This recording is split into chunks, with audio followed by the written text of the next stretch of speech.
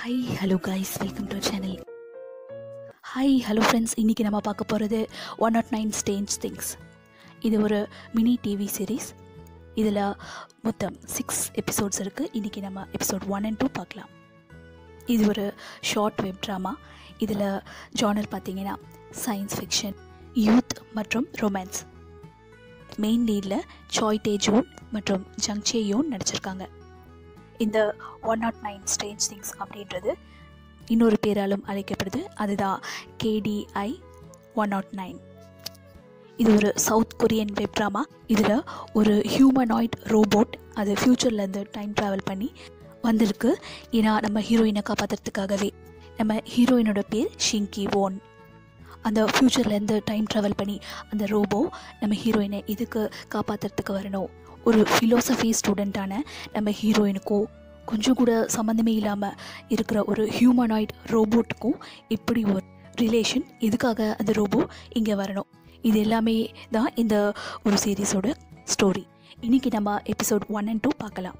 இப்போ வாங்க வீடியோக்குள்ளே போகலாம் இந்த வெப் சீரிஸ் நமக்கு ஞாபகப்படுத்துறது என்னென்னா நம்ம எல்லாருக்குமே தெரியும் ஜாப்பனீஸ் கார்ட்டூனான டோரேமான் அதில் அந்த ரோபோ கேட் ஃப்யூச்சர்லேருந்து வந்து நோபிட்டாவை காப்பாற்றும் அதே போல் இந்த ஒரு சீரீஸ் ஞாபகப்படுத்துது. அது மட்டும் இல்லாமல் நம்ம தமிழ் சினிமாவில் இருக்கிற எந்திரன் அப்படின்ற ஒரு ஹியூமனாய்ட் ரோபோட் பற்றின அந்த ஸ்டோரியும் இது ரிலேட் பண்ணுற மாதிரி இருக்குது எக்ஸாக்ட்லி அதே போல் இந்த கேடிஐ ஒன் நாட் நைன் அப்படின்ற ரோபோட் தன்னோட கைவசம் எக்கச்சக்கமான கேஜெட்ஸை வச்சுருக்கு. அது தேவைப்படும் போது அது எல்லாத்தையும் யூஸ் பண்ணுது. நம்ம ஸ்டோரியோட ஹீரோயினான ஷிங்கி வான் அவங்க ஒரு இன்டர்வியூ செஷன் அட்டன் பண்ண போகிறாங்க அவங்க இன்னும் யூனிவர்சிட்டி முடிக்கலை. அவங்க ஒரு ஃபோர்த் இயர் படிக்கிற ஃபிலோசஃபி ஸ்டூடெண்ட் இன்டர்வியூஸ் கேட்குற கொஷினுக்கு அவங்க ஒழுங்காக ஆன்சர் பண்ண முடியல. அதனால் இன்டர்வியூ ஃபெயில் ஆகிடுறாங்க அதுக்கப்புறம் அவங்க அந்த இடத்த விட்டு போகிறாங்க. அப்போது இன்டர்வியூஸ் பேசிக்கிறாங்க தனக்குள்ள. இந்த மாதிரி ஒரு வேஸ்டான கேண்டிடேட்டை இன்டர்வியூ பண்ணி நம்ம டைமை நம்ம தான் வேஸ்ட் ஆக்கிக்கிட்டு இருக்கோம் அப்படின்னு அவங்களுக்குள்ளே பேசிக்கிறாங்க. நெக்ஸ்ட்டு அவள் தன்னோட ஃப்ரெண்டான அவள் கூட படிக்கிற அந்த இன்னொரு லிபரல் ஆர்ட்ஸ் ஸ்டூடெண்ட் அவன் கிட்ட போகிறா அவனை மீட் பண்ணுறா அந்த கேன்டீனில் அவன் ரொம்ப பிஸியாக அவனோட நாவலை ஃபினிஷ் பண்ணுறதுக்காக முயற்சி பண்ணிக்கிட்டு இருக்கான். அவன் ரொம்ப பெரிய ஆளாக வேண்டியவன். ஆனால் அவனோட ஒர்க்கை ஃபினிஷ் பண்ண முடியாதனால ஒரு சில்லி ரீசனை சொல்கிறான் அவனோட ஸ்பெக்ஸ் இல்லைன்ட்டு. அதுக்கப்புறம் சுற்றி இருக்கிற எல்லா ஃப்ரெண்ட்ஸும் போட்டு அவனை அடிக்கிறாங்க. அதுக்கப்புறம் ஷின்கிவான் கிட்ட ஒரு பொண்ணு தன்னோட கையில் கோடென்கோ ரோபோட்டிக்ஸ் கம்பெனி அப்படின்ற ஒரு கம்பெனியோட ஆடை எடுத்துகிட்டு அவள் மெயினாக லிபரல் ஆர்ட்ஸ் ஸ்டூடெண்ட்ஸுக்கு தான் வேகன்சி அதிகமாக இருக்குது அப்படின்னு அவகிட்ட கொடுக்குறா. இந்த ஆப்பர்ச்சுனிட்டியை ஷிங்கி வான் யூஸ் பண்ணிக்கிறா. அந்த ஜாபை பற்றின ஒரு ரிப்போர்ட்டை ரெடி பண்ணி அவள் தன்னோட சீனியர் கிட்ட போய் அதை காட்டுறா. அவனும் அவளை ரொம்பவே பாராட்டுறான். அந்த சீனியர் சொல்கிறான் கூகுளை விட ரொம்ப நல்ல ஒர்க் பண்ணியிருக்கா ஷிங்கி வான் அப்படின்னு சொல்கிறான் ஷிங்கி வான் தன்னோட கையில் காய்கறி எல்லாத்தையும் வாங்கிக்கிட்டு வீட்டுக்கு தேவையானது அவளோட வீட்டுக்கு நடந்து போயிட்டுருக்கா. அப்போது அவள் தனக்கு தனி பேசிக்கிறா. இப்படி நான் தான் ஷிங்கி வாங் நான் ஒரு ஃபோர்த் இயர் படிக்கிற லிபரல் ஆர்ட்ஸ் ஸ்டூடெண்ட் நான் நூற்றி முப்பத்தி மூணு ஜாப் அப்ளிகேஷன்ஸ் போட்டு அதில் இருபத்தி ஒம்போது இன்டர்வியூ அட்டன் பண்ணி எதுவுமே எனக்கு ஒத்து வரல. அப்போ ஒரு கப்பலை காட்டுறாங்க. அவங்க தன்னோட கையில் கை குழந்தைய வச்சுக்கிட்டு ஒரு வீட்டுக்கு முன்னாடி வெயிட் பண்ணிக்கிட்டு இருக்காங்க. அதில் அந்த லேடி ரொம்பவே இரிட்டேட் ஆகிட்டு இருக்காங்க. ஏன்னா ரொம்ப நேரமாக வீடு பூட்டி கிடக்குது. அப்போ தான் ஷிங்கி வான் அங்கே வரா. அப்புறமா தான் தெரியுது அந்த ஒரு கப்பல்ஸ் வேறு யாரும் இல்லை. அவளுடைய அக்காவும் மாமாவும். அவளுடைய அக்கா அவளை திட்டுறா. இவ்வளோ நேரமாக வீடு பூட்டி கிடக்குது. எவ்வளோ நேரம் வெயிட் பண்ணுறது அப்படின்னு சொல்லிட்டு அவங்க ரெண்டு பேரும் உள்ளே போகிறாங்க ஷிங்கி வான் அவங்களுக்கு சமைச்ச சாப்பாடை ஆஃபர் பண்ணுறா அப்புறம் அவங்க எல்லாரும் ஒன்றா சேர்ந்து சாப்பிட்றாங்க. ஷிங்கிவான் தன்னோட மனசுக்குள்ளே நம்மளே வேலை இல்லாமல் அலைஞ்சிட்ருக்கோம் இதில் இவளும் வந்திருக்கா இவனோட ஹஸ்பண்டும் வேலை இல்லாமல் இவனும் வந்து இங்கே உட்காந்துருக்கான் அப்படின்னு சேடாக அவளோட மனசுக்குள்ளே நினச்சிக்கிறான் அவங்களோட ஃபேமிலியில் எல்லோரும் ஒன்றா உட்காந்து சாப்பிட்டுட்டு இருக்கும்போது ஷிங்கி வான் அவளோட பிரதர் இல்லா அதுக்கப்புறம் அவளோட சிஸ்டர் எல்லோரும் உட்காந்து சாப்பிட்டுட்டு இருக்காங்க அப்போது அவளோட சிஸ்டர் சொல்கிறா நான் ஸ்கூலை விட்டுடுறேன். ஸ்கூலை கட் பண்ணிவிட்டு நான் இதோட வேலைக்கு போகிறேன் அப்படின்னு சொல்கிறா அதுக்கு ஷிங்கி வான் இல்லை நீ அப்படிலாம் பண்ணக்கூடாது. நான் இருக்கிற வரைக்கும் அப்படின்னு சொல்கிறா அதுக்கப்புறம் அவனோட பிரதரும் வேலைக்கு போகாமல் பிரதரின் லாவும் அப்படியே இருக்கான். அப்போது ஷிங்கிவான் சொல்கிறா நீயாவது வேலைக்கு போகலாம்ல அப்படின்னு. அதுக்கு அவன் சொல்கிறான் நீ இன்னும் என்னோடய அம்மா கிடையாது அப்படின்னு. அப்போ தான் எல்லாருக்கும் உட்காந்து ஒன்றா சாப்பிடும்போது அவங்களுக்கு அம்மா இல்லைன்னு தெரியுது. இப்படியே அவங்க உட்காந்து சாப்பிட்டுட்டு இருக்கும்போது திடீர்னு கரண்ட் கட் ஆகிடுது வெளியில் ஒரு பெரிய வெடிக்கிற சத்தம் கேட்குது அப்போது அவங்க எல்லோரும் வெளியில் போய் பார்க்குறாங்க அவங்க எல்லாரும் வெளியில் வந்து பார்க்கும்போது ஒரு வித்தியாசமான வினோதமான ஒரு மனிதன் கரும் புகைகள் சூழ்ந்து அங்கேருந்து நடந்து வந்துக்கிட்டு இருக்கான். அவன் அவங்க கிட்ட வந்ததோ அவங்க எல்லாரையும் பற்றிய ஐடென்டிட்டி அவனுக்கு தானாக தெரியுது அவனோட ஸ்க்ரீனில் அதுக்கப்புறம் அவன் அவங்க கிட்ட சொல்கிறான் நான் டூ தௌசண்ட் ஃபிஃப்டியிலேருந்து வா ஃப்யூச்சர்லேருந்து வந்திருக்கேன். ஒரு ஹியூமனாய்ட் ரோபோட் என் பேர் கேடிஐ ஒன் நாட் நைன் அப்படின்னு தன்னை இன்ட்ரடியூஸ் பண்ணிக்கிறான். ஷிங்கியோனோட சிஸ்டர் அந்த ரோபோவை பார்த்து ரொம்பவே எக்ஸைட் ஆகிடுறா ஏன்னா அவன் ரொம்ப ஹேண்ட்ஸமாக இருக்கான். இன்னொரு பக்கம் வினோதமான மூணு பேர் அவங்களோட கையில் வித்தியாசமான எக்யூப்மெண்ட்ஸை வச்சுக்கிட்டு இறங்குறாங்க. அவங்க எதையோ தேடிக்கிட்டு இருக்கிற போல தெரியுது. அதில் ஒருத்தன் சொல்கிறான் அஞ்சு கிலோமீட்டர் தூரத்தில் நம்ம தேடுற ஒரு பொருள் இருக்குது. ஆனால் சடனாக சிக்னல் லாஸ் ஆகிட்டதுனால அவங்களால கண்டுபிடிக்க முடியல. அப்போது அவனோட தலைவன் சொல்கிறான் தொடர்ந்து முயற்சியை கைவிடாதீங்க. தொடர்ந்து தேடிக்கிட்டே இருங்க. நமக்கு கிடச்சே ஆகணும் அப்படின்னு சொல்கிறான் இன்னொரு பக்கம் அந்த ஃபேமிலி அந்த ரோபோட்டை உள்ளே கூட்டிகிட்டு போய் வீட்டுக்குள்ளே உட்கார வச்சுருக்காங்க. எல்லாரும் ஒன்றா சேர்ந்து உட்காந்துருக்காங்க உள்ளே உட்காந்துருக்கும் போது அந்த ஷிங்கியோனோட சிஸ்டர் அவனை பார்த்துட்டு ரொம்ப வருத்தப்படுறா. ஏன்னா அவன் மனுஷன் இல்லை அவன் ஒரு ரோபோட் ஏன்னா அவன் ரொம்ப ஹேண்ட்ஸமாக இருந்தான். ஷிங்கிவான் தன்னோட ஃபோனை எடுத்து போலீஸ்க்கு ஃபோன் பண்ணி இன்ஃபார்ம் பண்ண போகிறா ஆனால் அவனோட ஃபேமிலியில் யாருமே இதை ஒத்துக்கலை. அதுக்கப்புறம் அந்த ரோபோ தன்னை செல்ஃப் இன்ட்ரோ பண்ணிக்குது. அது சொல்லுது நான் தான் one forty four three one double zero nine serial number உடைய டைப் த்ரீ ப்ரோட்டோடைப் உடைய ஒரு ரோபோட் என் பேர் கேடிஐ ஒன் நாட் நைன் அப்படின்னு சொல்லுது. அதோட தன்னை டூ தௌசண்ட் ஃபிஃப்டியில் உருவாக்குனாங்கன்னு சொல்லுது.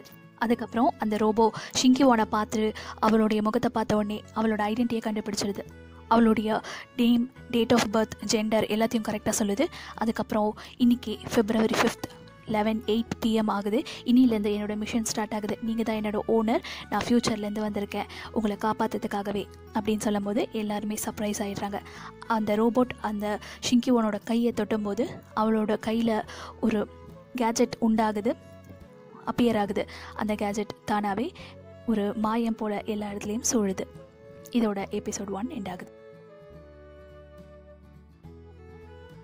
One nought nine strange things நம்ம எபிசோட டூவோட ஸ்டார்டிங்கில் என்ன காட்டுறாங்கன்னா நம்ம ரோபோ ஆன கேடி ஒன் நாட் நைன் அப்படின்ற ரோபோ எல்லாரையும் வெளியில் டோரை தட்டி எல்லாரையும் எழுப்புது. ஹே மார்னிங் ஆயிடுச்சு. எல்லாரும் எழுந்துருங்க. சீக்கிரம் வெளியே வாங்க. பிரேக்ஃபாஸ்ட் ரெடியாக இருக்குது அப்படின்னு சொல்லிட்டு ஒவ்வொருத்தரோட ரூமோட கதவை தட்டிக்கிட்டே வருது. அதுக்கப்புறம் எல்லாரும் எழுந்து வெளியில் வந்து பார்க்குறாங்க. அவங்களுக்கு ரொம்பவே சர்ப்ரைஸ் ஆகிடுது ஏன்னா இது நம்ம வீடாக நம்ம எந்த உலகத்தில் இருக்கோம்? இந்த வீடு எவ்வளோ அழகாக மாறிடுச்சு. என்னால் நம்பவே முடியல அப்படின்னு ஒவ்வொருத்தரும் கமெண்ட் பண்ணுறாங்க அப்புறம் இதெல்லாம் யார் செஞ்சது அப்படின்னு கேட்டால் இது உங்களோட ஃப்ரெண்ட் பேக்கோ தான் செஞ்சேன் அப்படின்னு சொல்லும் போது யார் பேக்கோ அப்படின்னு கேட்டாங்க. அதுக்கு அந்த ரோபோ என் பேர் தான் பேக்கோ அப்படின்னு சொல்லுது. அதுக்கடுத்து அந்த ரோபோ எல்லாருக்கும் பிரேக்ஃபாஸ்ட் ரெடியாக இருக்குது நீங்கள் எல்லோரும் சாப்பிட ஆரம்பிக்கலாம் அப்படின்னு சொல்லுது.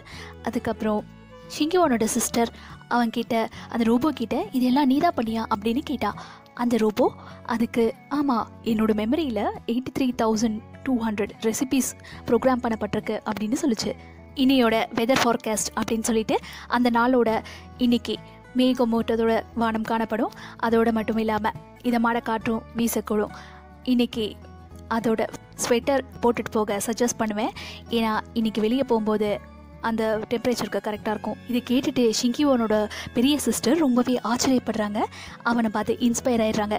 அதோட அவங்க சொல்கிறாங்க எனக்கு மட்டும் இந்நேரம் கல்யாணம் ஆகியிருக்கலனா இந்த ரோபோ தான் என்னோட பெஸ்ட் சாய்ஸாக இருக்கும். அப்படின்னு சொல்லும்போது அவளோட ஹஸ்பண்ட் சொல்கிறான் நீ ரொம்பவே தப்பாக சொல்கிற ஏன்னா அவன் ஒரு ரோபோ தான் மனுஷன் இல்லை. அப்படின்னு சொல்லும்போது அவன் சொல்கிறா இந்த ரோபோ மனுஷங்களை விட ஒன்றும் குறைஞ்சது இல்லை. அப்படின்னு சொல்லுது.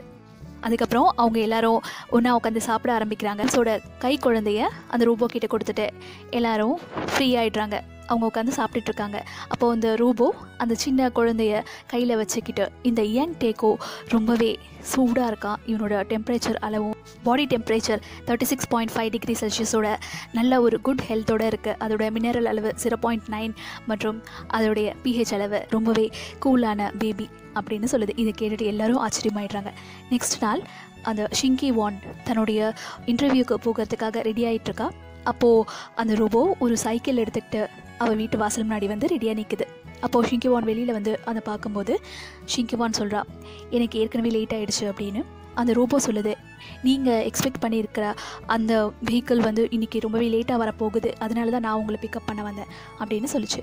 நீங்கள் என் கூட வாங்க நான் உங்களை ட்ராப் பண்ணுறேன் நீங்கள் அந்த வெஹிக்கிள்க்கு நீங்கள் எக்ஸ்பெக்ட் பண்ணிகிட்டு இருக்கிற அந்த காருக்கு வெயிட் பண்ணிகிட்டு இருந்தீங்கன்னா இன்னும் லேட்டாக தான் போவீங்க அப்படின்னு சொல்லும்போது சரின்னு சொல்லிட்டு ஷிங்கிவான் அவன் கூட பின்னாடி உட்காந்து அந்த சைக்கிளில் அந்த இன்டர்வியூக்கு போகிறான் அந்த ரோபோ ஷிங்கிவான பின்னாடி உட்கார வச்சுட்டு ரொம்பவே மின்னலை விட வேகத்தில் அந்த இடத்துக்கு போய் சேர்ந்துட்டு. அப்புறம் கீழே இறங்கும்போது ஷிங்கிவானுக்கு தலை சுற்றி மயக்கமாக வந்து வாந்தியும் எடுத்துட்டா. அப்புறமா அந்த ரோபோ ஷிங்கிவான் பக்கத்தில் வந்து நின்று ரொம்ப சாரி நான் உங்களை சீக்கிரமாகவே கூட்டிகிட்டு வரணும் அப்படின்றதுக்காக நூற்றி இருபத்தஞ்சு கிலோமீட்டர் ஒரு மணி நேரத்துக்கு அந்த அந்த ஸ்பீட் அளவில் நான் வந்தேன். அதுவும் இல்லாமல் சீக்கிரம் வரணுன்றதுக்காக இருக்கிற பாசிபிளான எல்லா லோக்கல் ரோட்ஸையும் ரூட்ஸையும் நான் யூஸ் பண்ணிட்டேன். அப்படின்னு சொல்லிச்சு. அதுக்கப்புறம் ஷிங்கிவான் அந்த இடத்துல இருக்கிற இன்டர்வியூக்கு உள்ளே போயிட்டு இன்டர்வியூ அட்டன் பண்ணுறா அதுக்கப்புறம் வெளியில் வரும்போது ரொம்பவே சோகமாக வெளியில் வரா. அப்புறம் அவளோட பெஞ்சில் அவள் சோகமாக உட்காந்துட்டு இருந்தா அந்த ரோபோ அவள் பக்கத்தில் போய் உட்காந்து ஷிங்குவான் கிட்ட பேச ஸ்டார்ட் பண்ணுறா அப்போ அந்த ரோபோ ஏன் ரொம்ப சோகமாக இருக்க அப்படின்னு கேட்கும்போது ஷிங்கிவான் சொல்கிறா இந்த வாட்டியும் என்னோட இன்டர்வியூ மிஸ் ஆயிடுச்சு. நான் ஃபெயில் ஆயிட்டேன். அப்படின்னு சொல்கிறா இந்த வாட்டியும் வேலை கிடைக்கல. அப்படின்னு ரொம்பவே சோகமாக இருக்கா.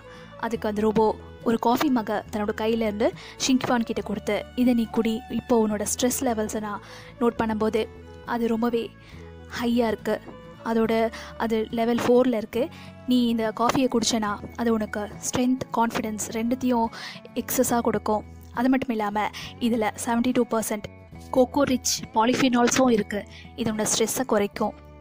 அது மட்டும் இல்லாமல் இந்த நூறு எம்எல் உன்னோட ஸ்ட்ரென்த் அண்ட் கான்ஃபிடென்ஸை இன்க்ரீஸ் பண்ணுறதுக்கு போதுமானது அப்படின்னு சொல்லி அவளை காஃபி குடிக்க சொல்கிறா ஆனால் அவள் சோகத்தில் அந்த வெறுப்பில் அவனோட கையில் இருந்த காஃபி மக்கை தட்டி விட்டுடுறா. அந்த காஃபியெல்லாம் கீழே கொட்டிடுது. அதுக்கு அந்த ரோபோட் நீ இப்போ ஃபோர்த் இயரில் தான் இருக்க. நீ ஒரு ஃபிலோசஃபி ஸ்டூடெண்ட் ஆனால் என்னை பற்றி ரோபோட்ஸை பற்றி நீ இன்னும் தெரிஞ்சுக்கல.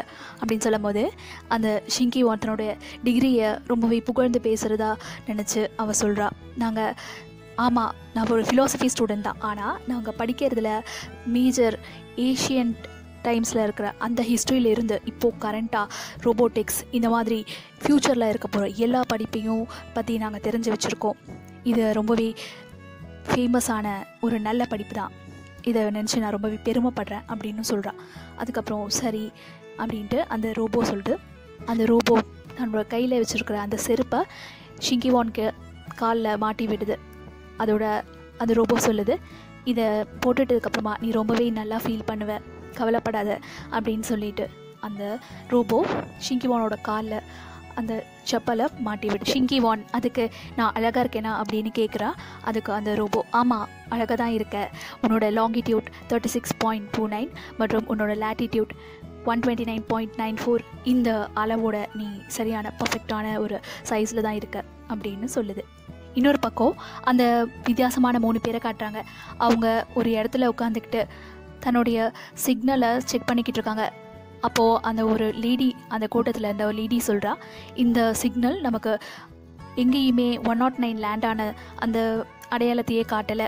அப்படின்னு சொல்லும்போது இங்கே எல்லாமே விளைநிலமாக இருக்குது ஃபார்ம் லேண்டாக இருக்குது இந்த இடத்துல ஒன் நாட் நைன் லேண்டாக இருக்க சான்ஸே இல்லை. அப்படின்னு சொல்கிறா அதுக்கப்புறம் அந்த லொக்கேஷனை பார்க்கும்போது அது ஒரு பேர் அந்த லேடி சொல்கிறா அந்த ஒரு பேர் கியோங்கி இல்சன் நாங்மோ டாங்பிரி அப்படின்ற ஒரு லொக்கேஷன் அந்த இடத்த சொல்லும்போது அந்த கூட்டத்தோட தலைவன் ரொம்பவே ஆச்சரியப்படுறான்.